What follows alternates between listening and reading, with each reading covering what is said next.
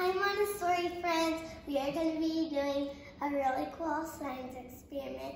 My name is Ellie Winter, this is Brady Winter, and this is Kinley Winter. Kinley is going to be telling us all about and what you need how, and how to make the science experiment. What you are going to need is three containers about the same size.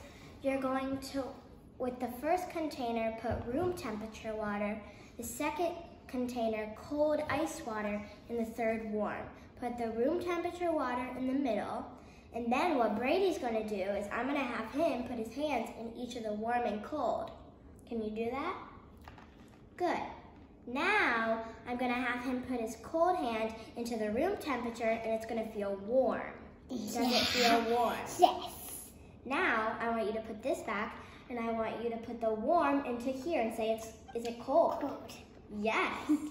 How does that happen? Brady, how do you think it happens that the middle feels different depending on which hand you use?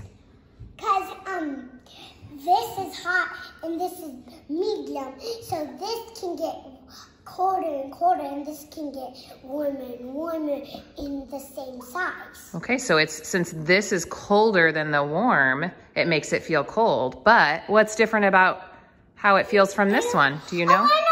Okay. Um, this is, no, this is cold and this is We're gonna try. the next cold.